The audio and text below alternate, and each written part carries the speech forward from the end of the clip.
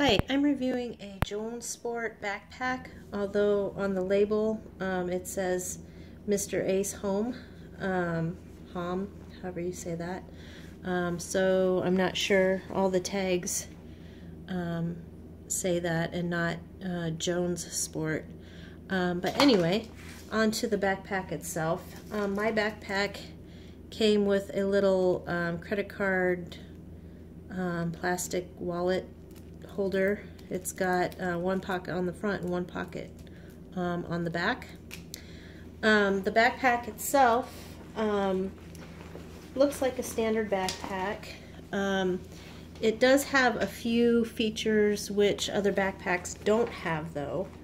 Um, it does have this pocket on the front which is pretty standard.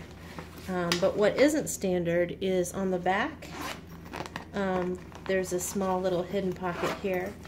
And then on the inside, if you open it up, it's got um, dividers here, then a big main pocket there, um, a secondary pocket, and then there's another little um, zipper pocket on the top here, which is not necessarily standard.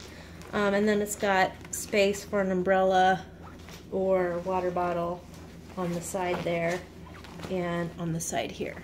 Um, the zippers are plastic, fairly chunky, rugged looking.